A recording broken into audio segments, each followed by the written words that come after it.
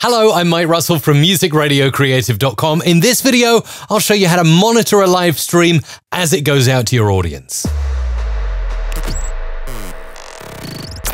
Often we hit the situation where we're playing a game, we're doing something on desktop, we've got multiple camera angles and no idea what is going out on our live stream. Well, by the end of this video, you'll know how to watch it back in real time. It's something called a confidence monitor. It can be something as simple as a really cheap LCD monitor that you hook into your graphics card. I use an EVGA that has many DisplayPort outputs, and I can do that inside OBS Studio.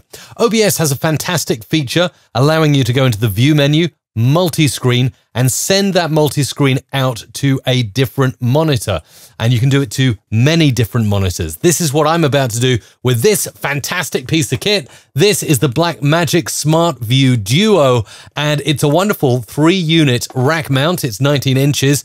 Pop it in your rack and you've got two beautiful 8 inch LCD displays that can be used as confidence monitors to see what's going out on your live stream and also multicam view. So let's get it installed in my rack and show you exactly how it works. Now, you will need a few things if you're plugging it straight into a graphics card.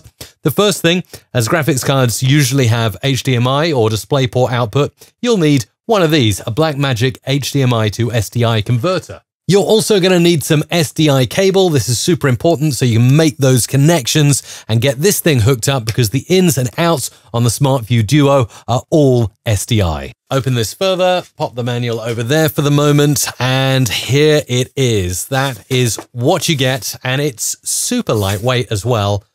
There are the monitors. On the back, a few connectors for you to work with, and we'll get that all hooked up right now.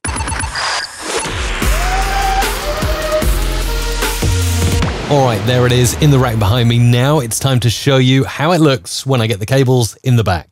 Once you've got your first Blackmagic SmartView Duo monitor connected up, you can simply go into OBS Studio View, Multi-View, Full Screen, and then select BMD HDMI, which of course is one of those Blackmagic displays.